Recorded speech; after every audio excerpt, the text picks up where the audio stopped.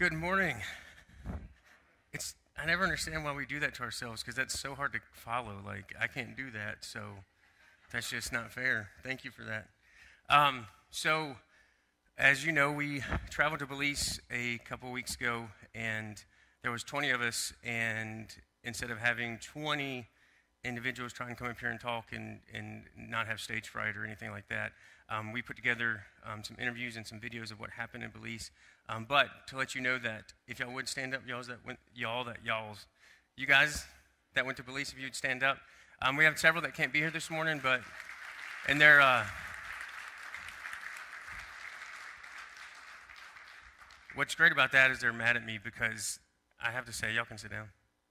The the most consistent theme I gathered from the people that we took to Belize is that they just wanted the glory to go to God. And it was completely evident in their actions and then and how they responded and how they acted. So if you would, please check this video out. I had originally planned to do a longer sermon, and when I started putting all the materials, whew, that last part got me a little bit, my bad. Um, when I was putting it together, it came out to be like 35 minutes long, and I was like, well, that's probably too long. So I, I can't possibly tell you how much more occurred. And we're so naive to call it just, oh, we went to Belize and did a VBS. It was so much more than that that I didn't even get to see it until I got back. because when, ah, goodness, there is something in the air. Woo! I, uh, the first night God put something on my heart, and so I I had us pray, and, and I'm sure they all thought I was weird and, and, and when I did this, but we were all together and we had a, we would do a day and then we would recap the day and go over anything we needed to change or any information we needed to put out after we got back to the training center. And I told them, I said, hey, I'm going to pray something weird, and I want you to have it your honest prayer too. But I prayed that while we were in Belize or even after, that whatever God did, that we would never know so that all the glory would go to God. And that became the theme for us is like we didn't care what happened. We just wanted to make sure that people got to know God through us.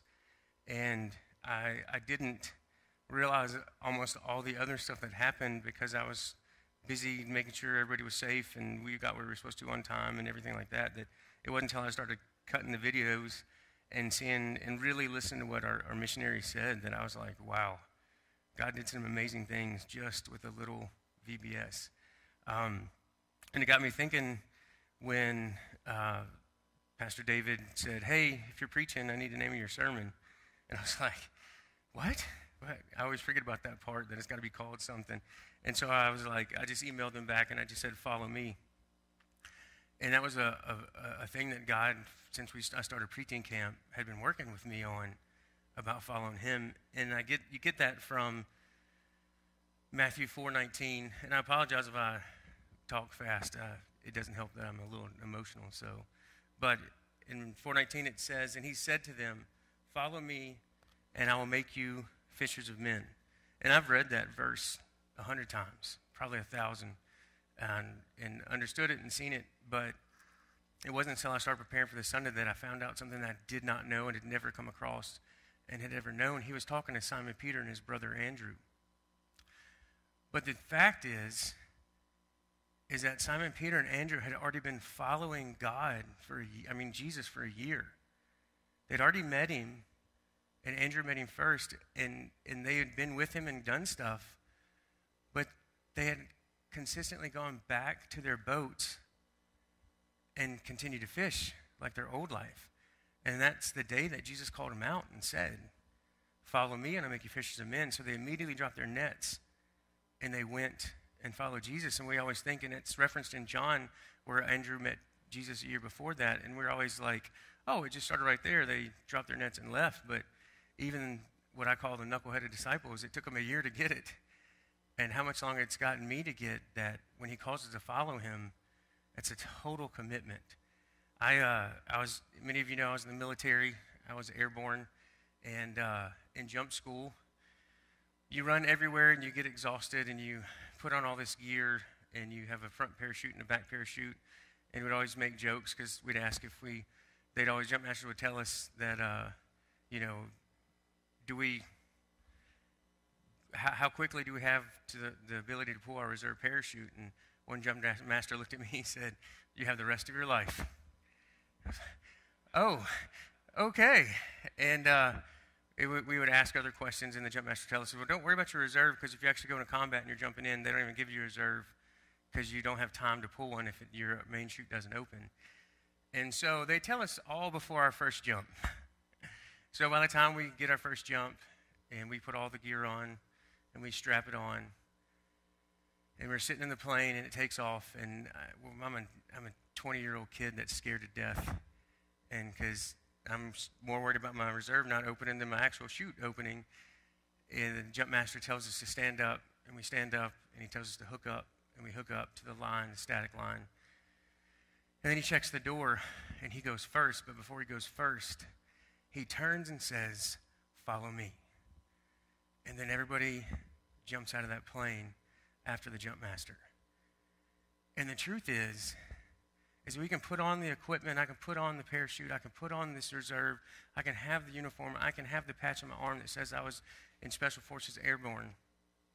But until the moment that I obey his command and follow Him, I'm not airborne. I'm not anything. I'm just another guy on a plane.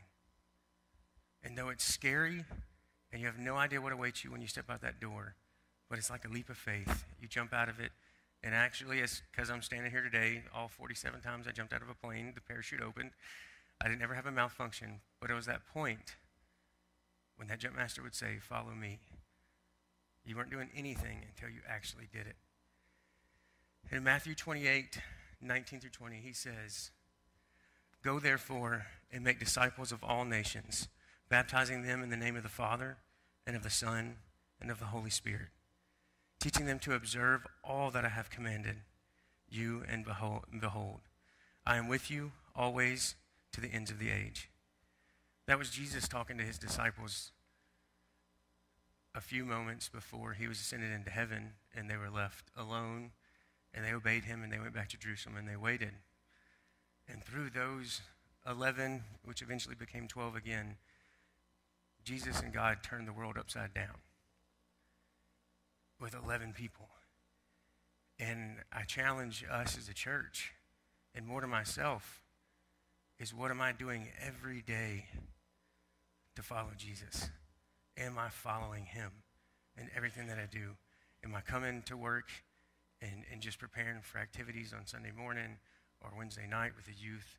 But the question is, how am I going forth and making disciples of all nations? So I challenge us to think about it, whether it's Belize, whether it's our neighbors. That's one of the biggest things I got out of hearing Roxy's and Kristen's story about the couple. And we got to see the house, and that joker got burnt down. She wasn't playing. You build things out of sticks, it goes up quick. And that was their life. And I used to be a cop, so I saw that same scenario in neighborhoods in all the cities that I've lived in. And unfortunately, Belize doesn't have the same. If she would have done that in the States, of course, she'd be in prison right now, and there'd be CNN reporting on it and all that kind of stuff, but there wasn't. And so they literally just move on with their lives, and, and he has to sleep with one eye open, I guess, for the rest of his life. But that's the same situations that we have here. So not only is God calling us to go to Belize and El Salvador and all these other things, but there's a neighborhood of lost and hurting people that are right around us. And are we following Him to even reach them as well? So that's my challenge to myself, and hopefully this morning it might become your challenge to you is, are we going to follow Him? If you would bow with me. Dearly Father, I thank you for the opportunity to travel to all nations and share your good news. And you say that it's not just about you, but that we're to minister to them through faith and through needs and through actions. And I pray that you just help us as a church recognize the times and the needs that we need to do that and what we need to do and give us direction through the Holy Spirit and give us opportunities individually and as a whole to fulfill your great commission to go and tell all nations about you. I just thank you for the opportunity to come and worship freely in this country and just let us recognize the ways and, and, and needs that we need to reach those around us. Thank you so much for giving us the opportunity to serve you, Lord. In Jesus' name I pray. Amen.